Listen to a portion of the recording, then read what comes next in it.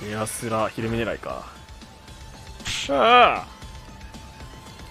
その技は俺に効く。やめろ。やめろ。え？嘘。今回もこんな感じか。やれやれ。ヒルンダーと急所でやられちゃったよ。やれやれ。まあいいや。もうネクロズまで全部破壊するまでだ。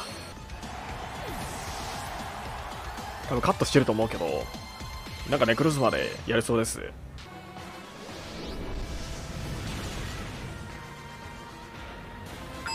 ははは。おいおいおい。おかしいぞ。ピントレンズは叩き落としたはずだから。うわそうなるのね。まあ強運ですから。強運ですからね。まあ可能性はあるんでしょうけどにしても引きすぎだよな。こんなことあんのか。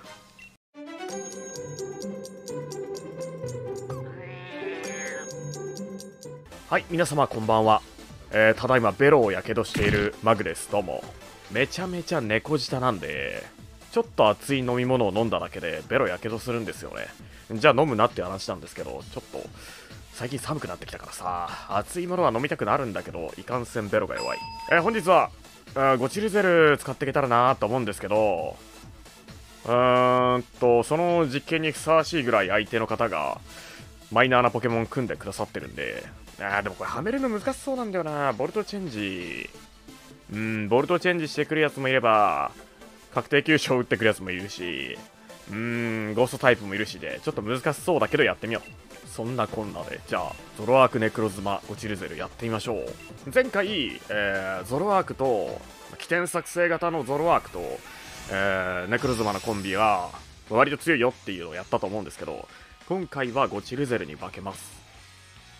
なんでゾロアークでゴチルゼルに化けるかっていうとゴチルゼルっていうのは影踏みっていう相手の交換をさせない特性があるんですけどもゴーストタイプ以外ね。えー、それゾロアークでやっちゃったらお相手の方はどうするのかなと、まあ、要はこれ影踏みじゃないんですよ今。ゾロアークなんで影踏みじゃないんですけど騙せんのかなみたいなことをやりたいんですがそもそもこの対面交換しなくねっていう。うんどうしようかな。というわけで、えー、対戦お願いします。ちょっと遅れましたが。うーんどうしようかな。これね確定急所狙ってくるから置き土産で作業がなんだろうが関係ないんだよな。なんかいきなり最悪のやつ当たっちまった。ただここね叩き落とすわ。引っ込めたー！バレてるかやっぱ。おいおいおい。あでもいいんじゃない？影踏みそう影踏み以外の特性もあるからまだゾロアークでバレてない可能性もあると思ったけど。あそういうことね。うんなるほどね。悪タイプを弱くするやつちゃんとあったね。あでもこれそのままやれるよな。生の身で半減してこのダメージだったらいけるよな。シャンディラいけるわ。やれゴチルゼル。過去ゾロワーク。はは。舐めたなゾロワークを。特防に自信があったのかな？叩き落とすなんで。バークアウトぐらいだったら違う、えー、ナイトバースぐらいだったらいけるだろうと思ったのかな。いやなんかねあのー、ゴチルゼル別に影踏みじゃなくても影踏みって相手の方はすり込まれるから影踏みじゃなくても勝ち気とかでも、えー、使ってもいいんじゃねっていう、えー、動画を有名な方が上げてらっしゃいました。今回はそれをゾロアークでやってみたんですがうんまあいきなり普通に交換されちゃったよね。あの影踏みだったら交換するときにね交換できないって出るんですけどバレちゃうか、まあ、とりあえずこれも叩き落としますか。狙い撃ち。普通になんかゾロアークが活躍する動画になっちゃうこれ。はい。それで叩き落としといて確定急所をなくす。オッケーオッケー。ピントレンズがなくなればね確定急所はなくなるからそこは怖くない。うーんまあこの狙い撃ちでやられちゃうんですがまあはたいとくか。気合ダメ余裕だな。これギリやれないか。うーんいや置き土産してもよかったけど、あ、急所の前に意味がないからな。あやれるやん。普通に強おいおいおいおいゾロワークだけで勝っちまうぞこのままじゃ。ラグラージ。これはもうほぼ勝ちと言っていいな。ただこれラグラージあとはゴチルゼルではめるだけで勝てるんで。はい5歳選ばれました。ありがとうございます。うーんまあちょっと一発目の検証は、うん、失敗ですね。普通に交換されちゃいました。やっぱバレバレか？ちなみにこの並びってウーラオスで全滅しかねないんですけどもそれをカウンターでやれたらいいなと思ってます。対戦ありがとうございました。はいお願いします。うーんゴーストタイプが2体いるから影踏みがあんまり機能しなさそう。ただそんな相手にはゾロアークの畑が効くんだな。というわけでこの3体しか使う気ないので今回はこれでいきますが。お願いします。エース1から。俺さこれいいんじゃないの？これいいかもしれないね。お相手がね、こっちを、ゴチルゼルだと思ってくれてるんだったら、素引きはしないのよね。引くとしたら絶対トンボ帰りで、ゴチルゼルを積まれる前に、さっさ倒したいと思うのは大魔切るなり、攻撃してくるなりしてくるから、カウンターが決まりやすいところだとこれは思うんですけど、待てよ、でもトンボしたところで裏のミミキとかに下げられると、カウンターすかされるんだけど、大丈夫か、それは？まあいいや。来た来た来た来たそうだよね。ゴチルゼル目の前にしたら、いきなり大魔切ってでも吹っ飛ばしたくなるよな。そうそう、ゴチルゼルは、積むと、本当にもう、終わりなんで、ホワイトとしてももう最高火力で積む前にぶっ飛ばしたいでしょうけど、これ完全に騙されてますね。はい。ゾロワークなんだよな9勝、いいね。本当にいい火力で殴ってくれた。では残念ですが、さようなら。いいっすね。大魔切らせてかつ、パンパンできたの。これはゴチルゼルの圧力あってこそだね。割と積んでたよな。ゴチルゼルだと思ってトンボ返りしたら、カウンターで裏が死ぬ可能性あるし。うん。まあ、あの、お相手の手としては、ゴチルゼルじゃないよってことを見破ってさっさ聞くのが正解だったかもしれないかな。どうでしょうか。クリアボディだった場合、お決め意味ないんだよね。うーん、はたきますか。あ、不意打ちか。だまあ、お決め上げワンチャンあったかな。すり抜けだった場合効くしね。うん。まあいいや、ここは、えー、ゴチルゼルじゃキャッチできないので、キャッチできないプラス、竜舞とかだったらだるいからな。ネクロズまでさっさ積んで、制圧するか。正直ゴチルゼルは、出さなくてもいいのよ。圧力さえかけてくれればね。ここはコスモパワー積みます。竜舞か。あー、竜舞してくるんだったらダイスシール使うしかないな。ちょっとね、ファイヤーが だるいので、うん、早めにね、ちょっと積んでおきたいのあったけど、悠長してられないね、こうなると。いや、待てよ、ゴーストダイブだった場合、無駄になるんだけど。ただまあ、積み合ってて、九州をもらって負けるが一番しょうもないからな。まあ、大出力か。ちょっとゴーストダイブされると、無駄になるけどね。いや、全然ありえるよな。もう、大魔合戦だからね。ゴーストダイブみたいな、ワンターン消費するみたいな技は、結構採用されてるだろうからね、また。まあ、無駄になると分かりつつも、ここは切っていく。オッケーオッケーオッケー。積み合いで火力を上回りたいというか、なんていうかな。積み合いで5点ならないために相手は竜舞連打を選んだんだろうけど、こっちは耐久を上げながら殴れるからね。でもこれさ、もう残りがファイヤーでも割と勝ちだな。ゴチルゼルで積ませればいい話だからね。ゴーストダイブ、まあまあまあまあ。それは OK さ。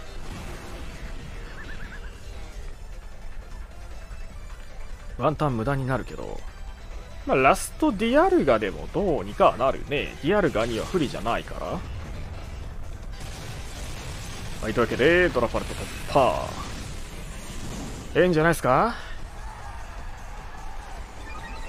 まあ、せっかくならゴチルゼルが活躍してるところを見せたかったけどな。相変わらずのこの、ゾロアークネクロズマが強い強い。そしてミミックが。これは勝ちですね。大出力積みまくってる時点でミミッキュこっち倒す術がないし。メテオドライブで殴ってくか。はい、コさんいただきました。ありがとうございます。てか DR がいなかったんだ。まあ、やっぱこう、目の前で悠長なことしてられないポケモンに化けるとゾロワークは強いですね。うん。ここはもう、置き土産しちゃいますかね。まあ、これは正直、影文がどうこうってのはあんま関係なかったろうな。ラプラスは書店出た以上は、やることは一つだから。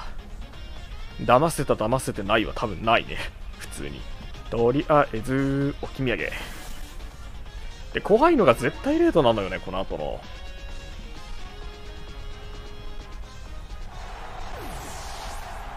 じゃあ積んできますか。一撃必殺技を恐れながら、大ストリーム。全然効かないよラプラスの火力程度だったらこんなもんだな。いや、色違いのゴチルゼルいいよね。ゴチルゼル結構好きなポケモンなんだけど、どうしても使うと試合が長引くから、あんまね、あの、育てようって気にならなかったけど、せっかくこのゾロワークいるし、試したいなと思って、で、なんだったら色違いいいなと思ってやってたら、もう収録時間がかなりないと、やばいです。そしてこの長引く戦法、やばいです。歌方のアリア、あれ？一撃殺は持ってないのか？そんなラプラスいいのかな？まあ、持ってないんだったら、じゃあ、積むか。コスモパー雷、麻痺を狙ってきたのかな？うん。まあ、麻痺っても、眠ればいい話なんで。ここ詰めるだけ積んどくか、もう。まあ、どんだけ積んでもアクロスがいたらもうゴチルゼルは終わりなんですけどね。いなかったら、このまま無双あるな。心理的には普通にアクーラスいてほしいと思うんだよね。ゴチルゼルもいるしな。はい。全然まひらんね。いいね。いつもの僕だったら、まひてたかもしんないけど、今日はなんかいいぞ。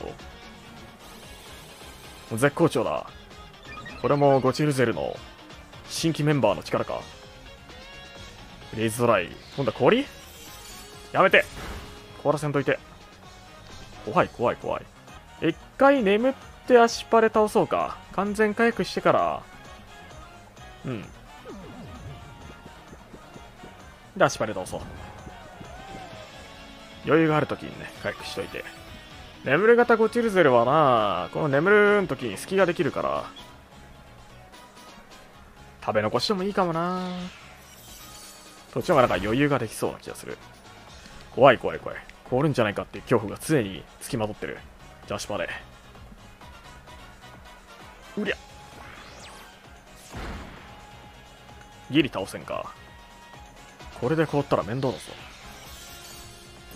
はいなると思った まあこれまでねまひらなかったからねその分が来たのかなでも氷は一番痛いけどねだったら麻痺ってほしかったけどね麻痺は眠れて治せるから氷は無理よおいおいおい運がいいかなとか思った矢先にこれだよ。超ジェラースやっぱ来るんだよ。あ、溶けた。オッケー。だったらいいわ。まあ、こんだけ強いはね、別に凍っても余裕はあるからな。オッケーオッケーオッケー。さて、アクーラオスがいたら、ゴチリゼルはもうその時点で命を失うのですが。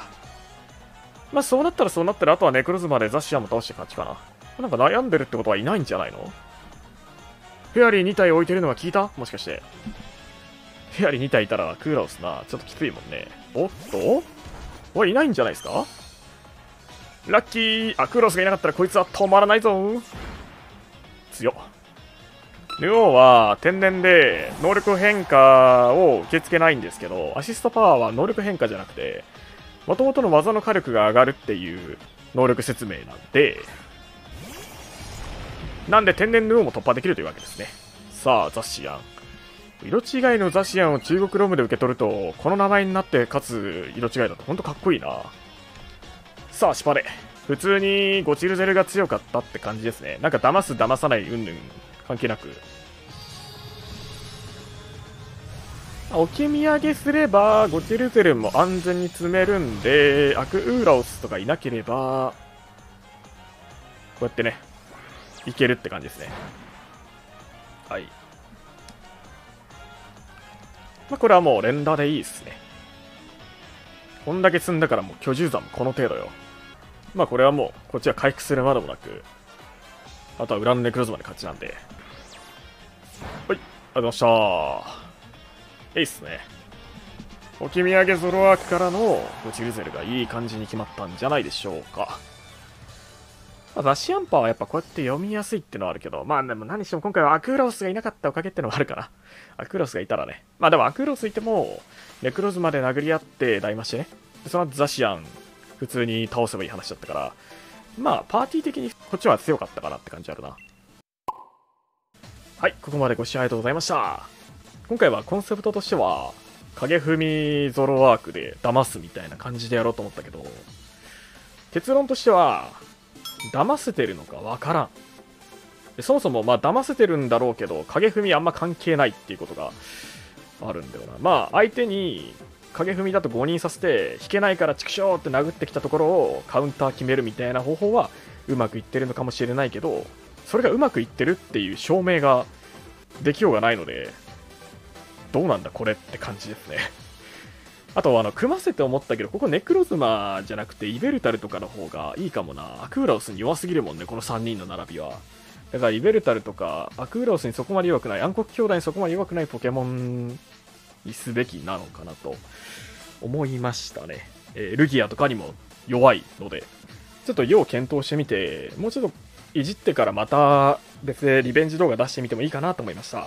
まあ、何してもゾロアークネクロズマは強いし、ゾロアークゴチルゼルも悪くないかなって思いましたね。はい。まあ、とりあえず色違いゴチルゼルが生まれてよかったなって感じで、あと、あの、撮影時間もほんとギリギリなんで、編集これ間に合うのかなというわけで、えここまでご視聴ありがとうございました。よろしければチャンネル登録や高評価などいただければ励みになります。コメントなどもお待ちしております。お疲れ様です。